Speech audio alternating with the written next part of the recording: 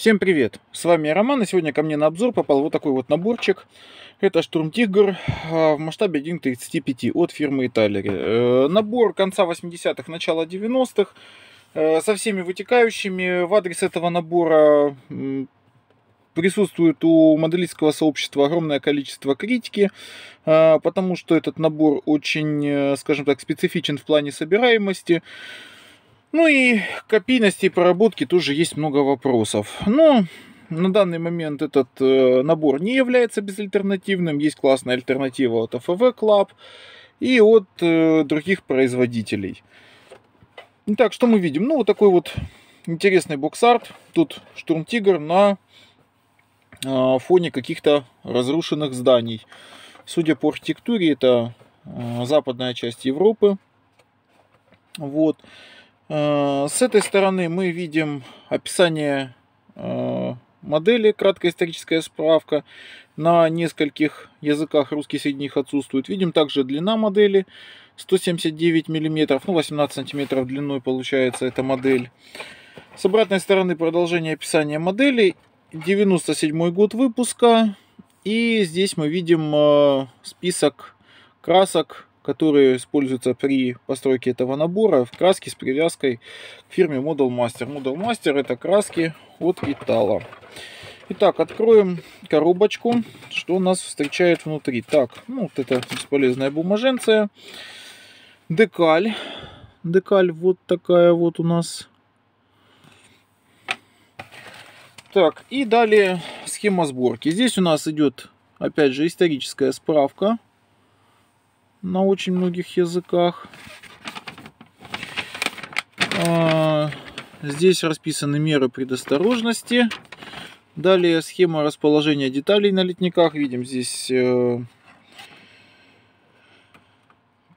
вроде как 4 литника.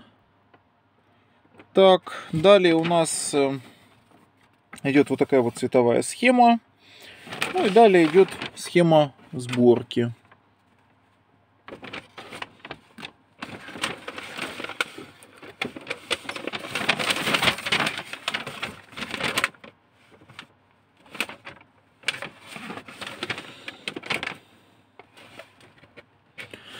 Вот такая вот схема. Далее у нас продолжение на обратной стороне. Ну и в конце вот так вот. С этой стороны у нас схема окраски и нанесения декалей на один вариант. Германия, 45 год. Вот так вот. Так, перейдем к самому пластику. Так, первое, что у нас здесь сразу мы видим, литник с элементами боевого отделения. Здесь есть некоторая имитация этого самого боевого отделения, что, скажем так, очень хорошо, потому что на той же самой модели от АФВ внутрянку нужно докупать по стоимости примерно равной стоимости модели. Так, здесь у нас шатуны. Тут у нас звездочки. Куча разной дребедени. Ну и вот само орудие. Видим, внутри какого-либо намека на наличие нарезов нет. Хотя орудие было нарезное. Так, ну и с обратной стороны этот же литничок вот так вот выглядит.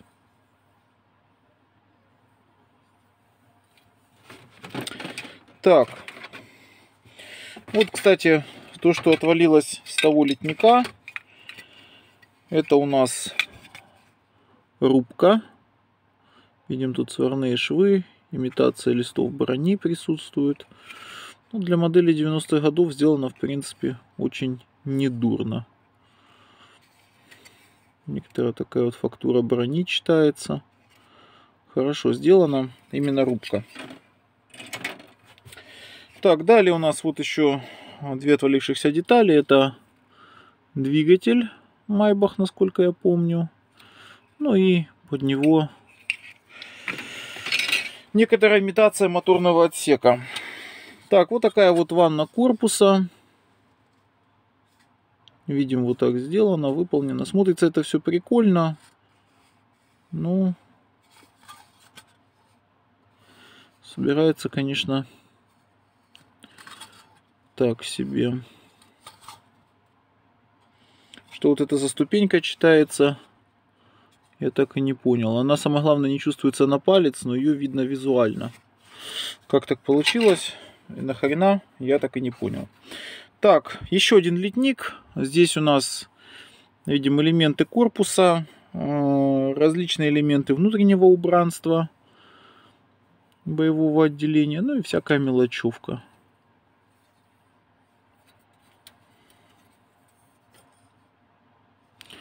Видим, тут некоторые элементы выполнены с цимеритом.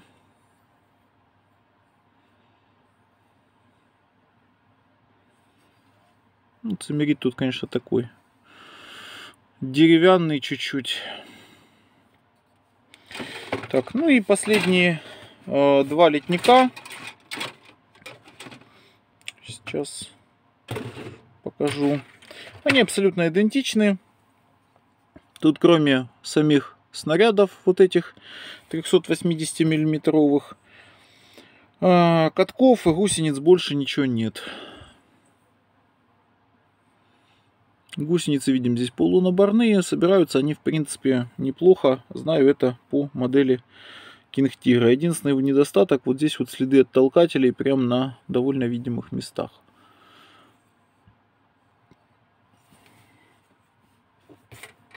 Ну, что можно сказать по итогу? Модель, в принципе, э, нельзя сказать, что она плоха, но она и не идеальна. Э, в любом случае потребует э, того, чтобы докупить автомаркета, для того, чтобы собрать нечто, скажем так, хорошо похожее на Штурм Тигр. Вот. Ну, также, в принципе, подойдет для начинающих, то есть для тех, кто не заморачивается в матчасти, просто хочет собрать из коробки и получить вот такую вот немецкую самоходку. Единственный недостаток у всех моделей Штурмтигра, которые сейчас выпускаются, это цена. Найти модель дешевле трех с половиной тысяч рублей, это сейчас где-то 40 долларов, просто нереально. Если реально, если кто-то знает каких-то производителей, которые выпускают э, Штурм Тигра э, стоимостью ниже 40 баксов, пожалуйста, напишите в комментариях, э, мне будет любопытно почитать. А на этом видео будем заканчивать. Спасибо, что смотрели этот ролик. Если он вам понравился, обязательно ставьте лайк внизу. Подписывайтесь на канал, если этого еще не сделали. Вступайте в группу ВКонтакте. Все необходимые ссылочки я оставлю внизу в описании. Всем удачи, всем пока.